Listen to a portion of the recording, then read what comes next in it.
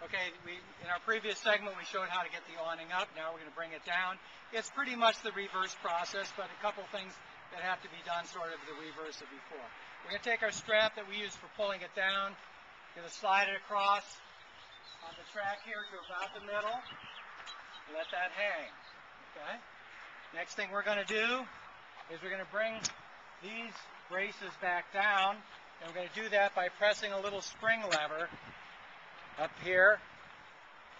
And that you can see that if you press the spring down, it goes underneath that, and then this can go forward.